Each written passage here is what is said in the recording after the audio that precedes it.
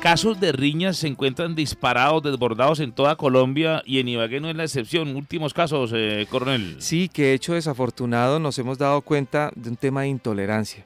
Y es un tema de intolerancia. Yo, sí quisiera hacer, digamos, aquí, eh, a través de un análisis juicioso que, se ha hecho, eh, Ibagué está ubicada entre las ciudades intermedias. Ahí está Cúcuta, todas las tres del eje cafetero, Montería. Eh, de todas es la que maneja la tasa de homicidios más baja, el 14% por cada 100.000 habitantes. Eh, las otras ciudades manejan entre el 25 y el 30. Sin embargo, eh, uno entra a observar los motivos de, las muertes y lo que tú dices, por riña e intolerancia.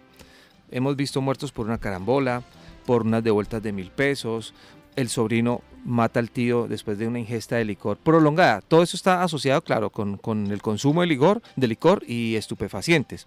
Y esto nos ha, pues, tendríamos que estar, en, podríamos estar en niveles muchísimo mejores si nosotros, eh, a través de una respuesta integral y multidisciplinaria, ojalá con alcaldía, con gobernación, con ustedes que cumplen una labor social tan bonita, logramos eh, desarmar esos corazones para que no generemos problemas en dos familias. Una que tiene que ir a enterrar el muerto y otra que tiene que ir a visitarlo 40 años a la cárcel, porque eso es una pena que da el homicidio. La gente no, no, no dimensiona. no dimensiona el problema tan grande que se puede meter y que pueden meter a las familias después de un acto de intolerancia.